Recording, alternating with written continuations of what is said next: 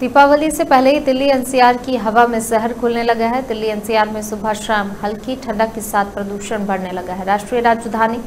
क्षेत्र दिल्ली एनसीआर में वायु प्रदूषण लगातार बढ़ता जा रहा है दिल्ली एनसीआर में वायु गुणवत्ता सूचकांक कई जगहों पर खराब से गंभीर श्रेणी में दर्ज हुआ है बता दें कि केंद्रीय प्रदूषण नियंत्रण बोर्ड के अनुसार दिल्ली के आनंद विहार में कल की सुबह वायु गुणवत्ता सूचकांक गंभीर श्रेणी में चार रिकॉर्ड किया गया मंगलवार को दिल्ली के आईटीयू में ए खराब श्रेणी में दो दर्ज किया गया दूसरी तरफ नोएडा में भी खराब श्रेणी में दो गाजियाबाद में ए 250 से ज़्यादा दर्ज किया गया बता दें ए को शून्य और 50 के बीच अच्छा इक्यावन और 100 के बीच सौ 101 और 200 के बीच मध्यम 201 और 300 के बीच खराब 301 और 400 के बीच बहुत खराब 401 और 500 के बीच गंभीर श्रेणी में माना जाता है